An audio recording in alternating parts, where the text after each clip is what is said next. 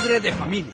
¿Por qué nunca nos das buena comida? Sí, Bonnie le compra a Joe pan dulce. Entonces vete a vivir a casa de Bonnie. Así podré dormir y no tendré que responder tus preguntas tontas a las 5 de la mañana. Mi curiosidad se activa en la mañana. Te comes todos mis yogurts de sabores. No tiene tu nombre escrito. Ni siquiera te gustan. Pero sabes que a mí sí, no quieres que me los coma. Nunca te lo había dicho, pero lo he pensado muchas veces, Peter. Sí, es exactamente lo que hace, porque es un gordo egoísta y tonto. ¡Cállense, cállense todos! Nunca pedí estar en esta familia.